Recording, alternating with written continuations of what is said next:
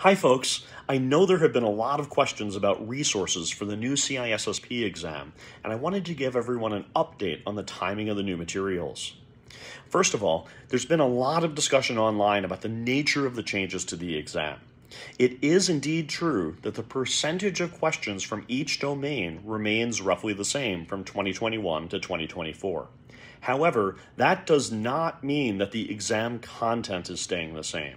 The detailed exam objectives have roughly 10% new content, and you should expect the remaining objectives will be modernized as well. We've finished writing the new official study guide, and it's now in the publishing process. The book is available for pre order on Amazon and is going to be shipped in June.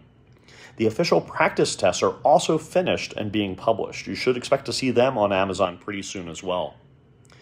I've recorded a brand new LinkedIn Learning course covering the common body of knowledge, and it's also in the publishing process. I hope that we're going to see that online before the end of April, although that may get pushed into May depending upon how long it takes for the final editing.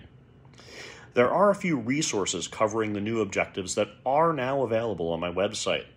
The CertMike Last Minute Review Guide and the Deluxe CISSP Practice Test are already updated to cover the new objectives.